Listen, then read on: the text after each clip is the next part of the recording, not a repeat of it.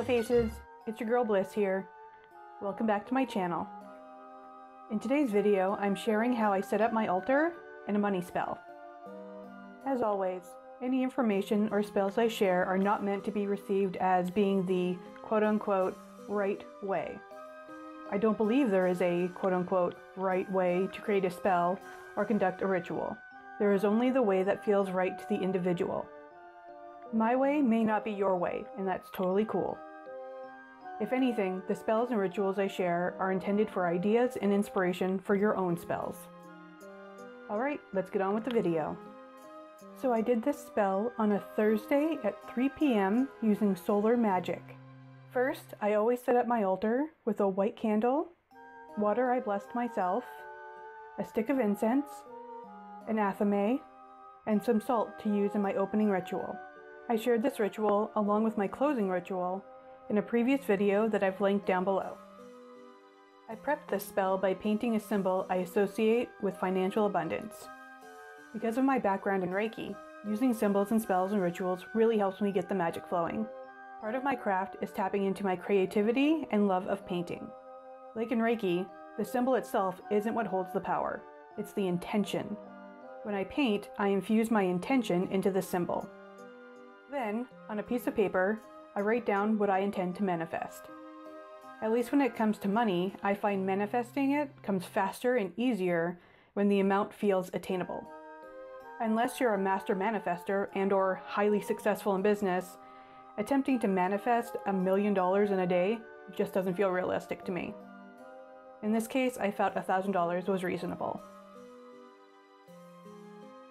Next, I carve these symbols into a green candle. Then I anoint the candle with patchouli oil. In a small bowl, I combine allspice, chamomile, cloves, nutmeg, and marjoram. Marjoram? I think that's how you say it. To my altar, I add real money plus my debit card and a raw citrine quartz. Once my altar is all set up, I go into my opening ritual.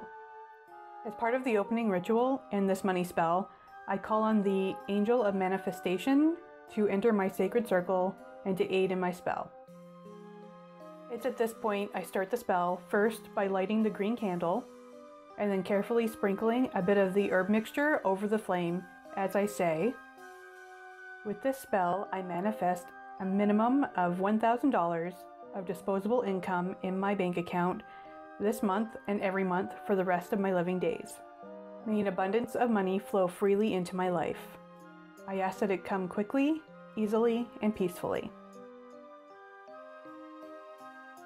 I like to use affirmations in my spells as well. The affirmations I used for this one are by T. Harv Eker.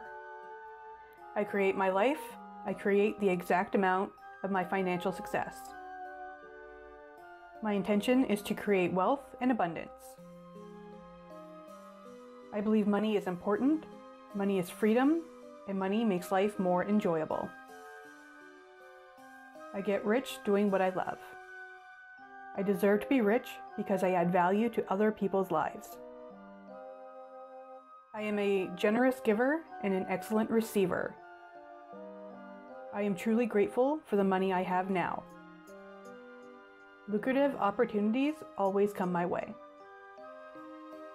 My capacity to earn, hold, and grow money expands day by day. Then I chant, quote unquote, I am abundant in all until I intuitively feel it's time to stop. Next, I take time to visualize and journal as though I already have the money. For example, with this extra $1,000 in my bank account, I feel so free and relaxed and full of joy and gratitude. With this extra $1,000, I am taking my friends and family out for fun times. Finally, I finish the spell.